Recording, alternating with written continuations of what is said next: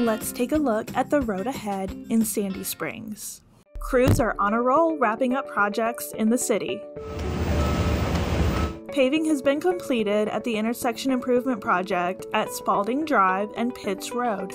Paving was delayed by a couple of weeks after the remnants of Hurricane Helene dumped rain on our area, making the ground too saturated to pave. But now, one of the last steps before putting a bow on the project is complete.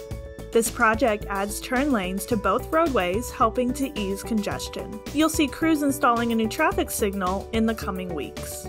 Be sure to follow us on social media to keep up to date with everything happening in the city.